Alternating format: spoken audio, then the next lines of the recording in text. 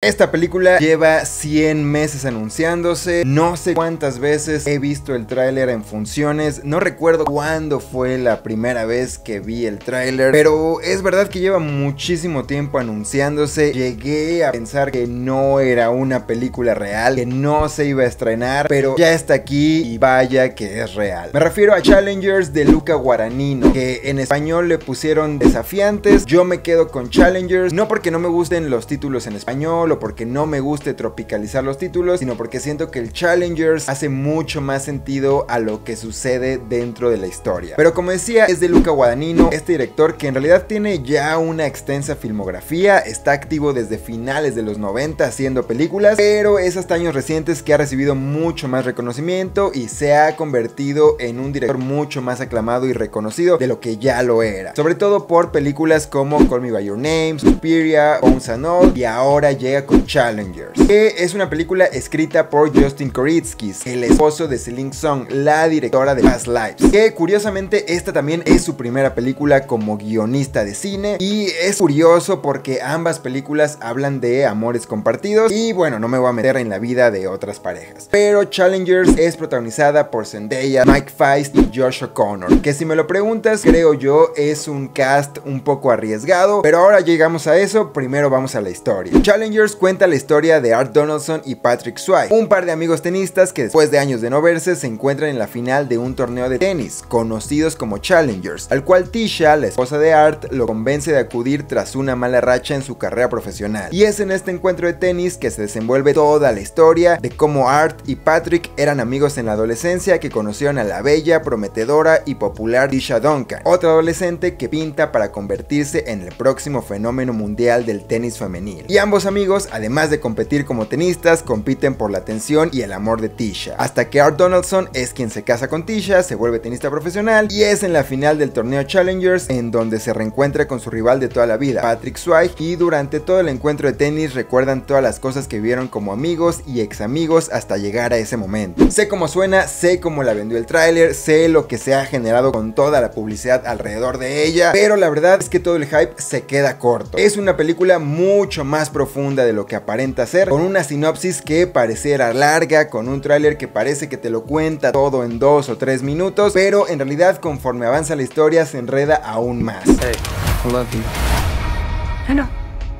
Y volviendo a lo del elenco arriesgado, lo digo porque es el primer protagónico en cine de Zendaya. Yo sé que viene de hacer Doom, de hacer Spider-Man, de participar en muchas producciones muy exitosas, de ser un fenómeno mundial, de convertirse en una super celebridad, probablemente una de las actrices mejores pagadas de la actualidad, pero este es su primer protagónico. Si analiza su filmografía, todas las demás películas que había hecho son papeles de reparto. Y hay ocasiones en las que muchos actores o actrices funcionan muy bien como actores de reparto y cuando saltan a su primer protagónico, simplemente flopean, les va mal, no funciona. Aquí creo que no es el caso, se veía venir, Zendaya es una estrella que está muy bien construida, pero no deja de ser su primer protagónico y de ser un cast relativamente arriesgado. Luego tenemos a Mike Feist, que sí, hace un par de años hizo West Side Story con Steven Spielberg, ya tenía esta gran experiencia en cine con un super director, pero en realidad Luca Guadagnino lo reclutó porque lo vio en una obra de teatro y le gustó mucho y es verdad que Mike Feist tenía mucha más experiencia en teatro que en cine, a pesar de tener ya ahí algunas películas en su carrera como actor de cine. Y luego tenemos a Josh O'Connor, que probablemente tenía más trayectoria que Mike Feist en cine, pero tampoco es un actor de clase A, no es el actor de marquesina, super celebridad, tal vez era un poco más identificable, pero no es la gran estrella de Hollywood. Coincidió tal vez que hace poco tiempo estrenó La Quimera, en donde lo hace increíblemente bien y tal vez todo ese hype también le ayuda a llegar al estreno de esta película, pero tomando en cuenta algunos de estos puntos, es por eso que digo que era dentro de lo que cabe un cast arriesgado. Y por ahí había otros nombres también considerados para los papeles principales, como incluso el mismo Timothy Chalamet, Austin Butler y demás. Pero bueno, al final ellos son los protagonistas y lo hacen espectacularmente bien. Porque además en la película evidentemente hay saltos en el tiempo, viajes al pasado, los tres están caracterizados como personas más jóvenes, como adolescentes, pasan y te lo crees por completo. Además de que durante toda la película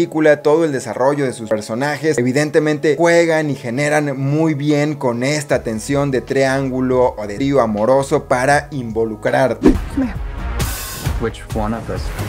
Hay momentos en los que crees que uno es el malo de la historia, en otros momentos es otro el villano, hay otros momentos en los que odias a Zendaya. Entonces pasas por todo tipo de emociones en la película que, como decía, te hacen involucrarte y te hacen pasártela muy bien durante las dos horas de película. Que esto evidentemente tiene que ver con lo bien escrita que está y con el gran trabajo de dirección de la película. Porque la construcción de personajes, como ya decía, es magistral y todo eso viene del guion y de la ejecución y la dirección. Porque evidentemente si no hay un buen guion, no hay una buena película y lo que hizo Justin Goritsky es increíble. Porque además es curioso cómo la película, además de estar viendo un partido de tenis, también se vuelve un partido de tenis como experiencia. Porque es una película y una historia que te hace ir y venir, ya, como ya decía, te mantiene enganchado, te mantiene con adrenalina y te mantiene la expectativa de quién va ganando en esta competencia de amor y cómo va a terminar. Es simplemente increíble la manera en la que está contada, ejecutada y actuada esta historia. Debo decir que yo la vi pensando que no me iba a gustar. Por todo esto del hype que se había generado, todos los anuncios que se habían hecho, parecía más una cosa que iba a decepcionar. Porque además yo no soy muy fan del cine de Luca Guadagnino, tampoco soy muy fan de Zendaya o de este fenómeno alrededor de ella. Y debo decir que en el caso de Josh O'Connor, aunque él lo hace increíblemente bien como actor principal, no es una película que me haya gustado la de la quimera. Entonces, al menos como espectador, en un caso muy particular, no era que tuviera tantas expectativas, pero me sorprendió y es mucho mejor y es mucho más de lo que esperaba. Incluso técnicamente hay detalles que no pueden pasar desapercibidos y que la construyen y la levantan completamente.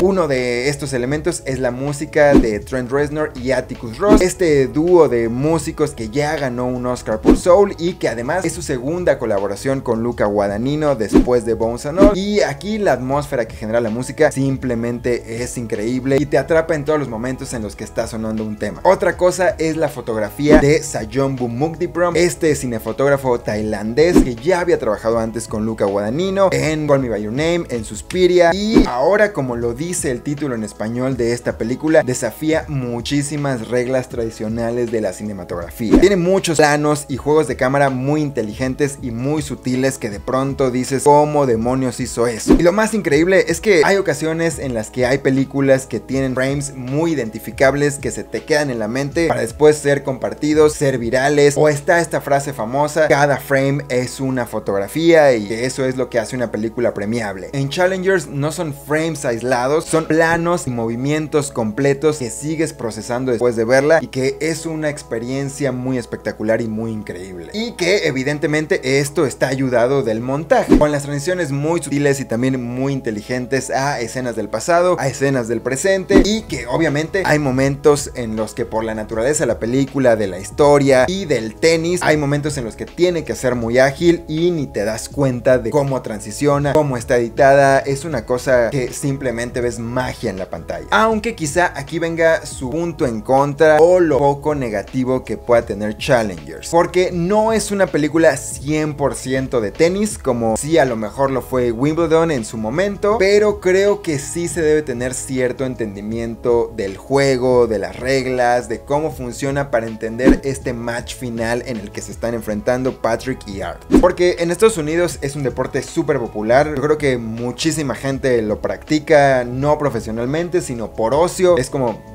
salir a jugar un partido de tenis casual por la tarde. En México y en Latinoamérica creo que no es tan así. Sabemos que existe, pero no estamos tan involucrados con las reglas del juego. Aunque creo que si entiendes lo básico, ya estás del otro lado. Pero aunque sí hay momentos en los que te puede perder sobre las puntuaciones, sobre las reglas. Otra vez, que si entiendes lo básico, estás del otro lado. Y también no es tanto un punto en contra, porque si nunca has visto nada de tenis en tu vida, la historia se encarga del resto. No es que te va a explicar las reglas del tenis una por una, o qué es lo que está sucediendo, o quién va ganando, pero sí se encarga de que sea muy digerible para hacértela pasar bien y de hacerte entender porque estás muy enganchado con la historia más allá del juego de tenis. This is a game about winning the points that matter. I don't need to play my games with you. Es una película simplemente espectacular, me recordó mucho a The Social Network, es una de mis top 5 películas favoritas de la vida probablemente y que tiene esta historia de amigos universitarios que compiten, que pelean, que se reencuentran y sí, sucede en otro contexto, en otras condiciones, en otro panorama, pero me refiero a la manera en que está ejecutada, también la manera en que está actuada y probablemente un poco ambientada por las épocas en las que se va desarrollando cuando eran adolescentes y por la época en la que sucede The Social Network. Pero lo más curioso y por lo que más me recuerda a The Social Network es que este guion de esa película, que ganó el Oscar por cierto, tiene una peculiaridad de ser como un guion melódico o musical y no, no en el sentido de que sea un musical como West Side Story justamente, sino que tiene un guion con diálogos que te atrapan como si fuera una canción pegajosa. Y entonces te va enganchando porque las voces y lo que van diciendo, lo que se responden, es muy melódico y atrapa una parte de tu cerebro sin que tú te des cuenta. Y algo así ocurre en Challengers también. Lo que dicen, lo que responden, lo que ejecutan, simplemente lo que escribió Justin Koriskis es espectacular. Hace mucho no me pasaba con una película hollywoodense que me dejara esta sensación de acabar de ver una película simplemente increíble, de querer volver a verla inmediatamente después de que salí de la sala. Creo que al menos en lo que va del año no me había pasado con una película, o como decía, tiene mucho, la verdad no recuerdo cuándo fue la última vez que me pasó esto con una película hollywoodense, pero con Challengers me pasó, la quiero volver a ver, la quiero volver a disfrutar, creo que le voy a encontrar nuevas cosas cuando la vea otra vez, y creo que esa es la magia de esta película. Como decía al inicio, creo que se queda corto el hype que ha generado, es mucho más profunda, es mucho más espectacular de lo que yo pueda describir en un video, en una reseña, en una crítica. Es una película que se tiene que vivir en el cine y es una película que se tiene que experimentar. No dudo que sea una película hacia final del año, sería una locura que no lo fuera, al menos creo que es el primer hit eh, hollywoodense para llegar hacia los premios a final de año, además de Dune evidentemente, que seguramente también llegará a varias categorías, sobre todo técnicas, pero creo que esta es la que podría dar ahí el batacazo con actriz, con actores de reparto y por supuesto con guion y dirección y por qué no decirlo, mejor película, ¿no? Que falta mucho para que acabe el año, pero creo que sí es una de esas apuestas tempranas y arriesgadas que no está de más hacer porque es una película que te atrapa y te convence de principio a fin. Como decía, yo no soy tan fan de lo que ha hecho Luca Guadagnino y esta me parece al menos eh, su mejor película de las que ha hecho de 2017 a la fecha, incluso más que Call Me By Your Name. Pero de ahí en fuera no quiero arruinar más la experiencia, recomendadísima para ir a verla al cine y como siempre, si ya la viste, dime qué te pareció.